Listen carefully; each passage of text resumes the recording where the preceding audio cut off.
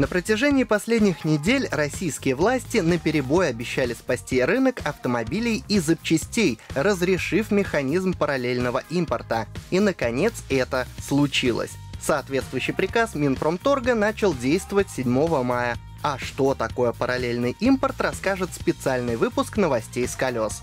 Итак, схема параллельного импорта позволяет возить на территорию России разнообразные товары без разрешения производителей и правообладателей. До нынешней весны такой механизм был вне закона.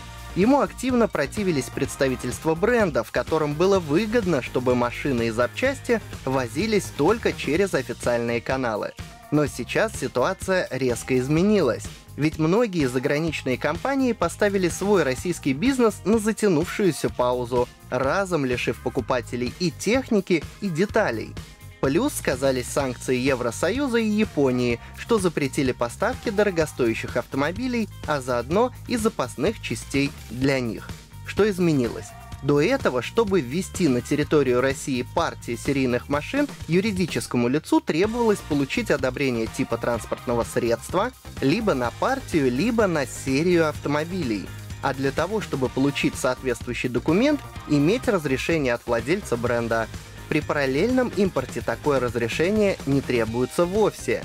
В разрешительный список Минпромторга вошли около 50 брендов, включая чисто грузовые MAN и Scania — Соответственно, в Россию, не спрашивая правообладателя, теперь можно возить и технику, и оригинальные запчасти этих марок.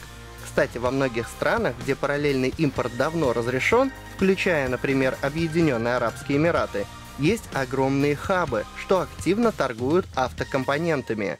И там агрегаты, электроника и кузовные элементы, как правило, стоят дешевле, чем за аналогичные позиции просят на складах дистрибьютора ну, желающих привезти все это из-за границы наверняка будет предостаточно.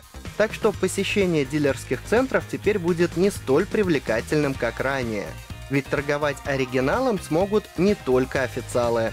Добавим, что приказ Минпромторга исключает гражданско-правовую ответственность, но не означает разрешение на ввоз и оборот контрафакта. Продукция должна быть легально оформлена там, откуда осуществляется импорт.